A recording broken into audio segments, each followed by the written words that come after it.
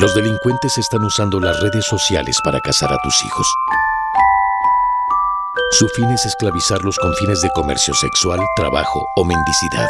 La Comisión Especial contra la Trata de la Cámara de Diputados está trabajando para prevenir y erradicar este delito. Tú puedes ayudar a prevenirlo. Cámara de Diputados, 62 Legislatura.